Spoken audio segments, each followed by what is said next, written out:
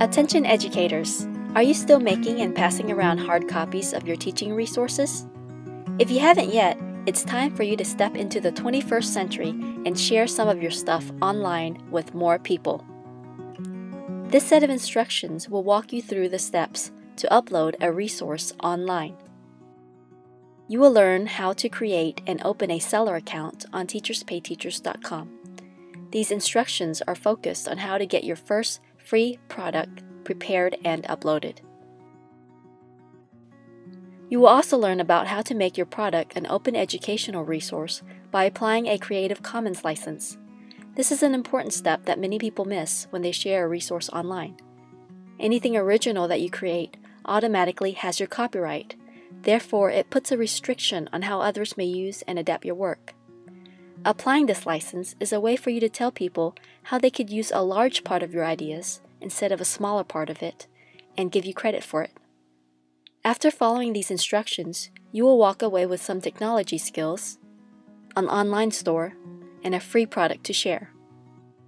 Teachers Pay Teachers requires your first product to be free. In the future, you may also earn extra income through your online store. I will walk you through registering for a Teachers Pay Teachers and OneDrive account, designing a thumbnail for your product page, taking screenshots, making and applying a Creative Commons license, zipping a file, and uploading a resource online. In these instructions, you have two choices.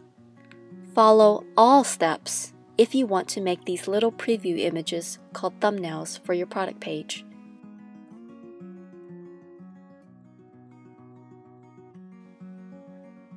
If you don't care what image shows up on your product page and you just want to register for an account and upload a resource, then follow the blue steps only.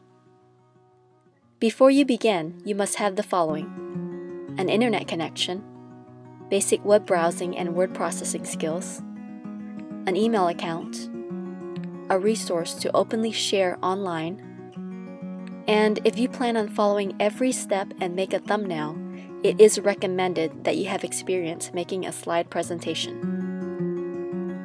All the tools that we'll use are free and online. Let's begin.